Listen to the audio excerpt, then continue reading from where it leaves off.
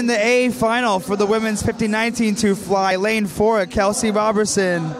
Lane 5, Caroline Burmaster from Bergen Barracudas. In lane 6, Angelica Chiafalo from Bergen Barracudas. And lane 7, Bianca Valente from Scarlet.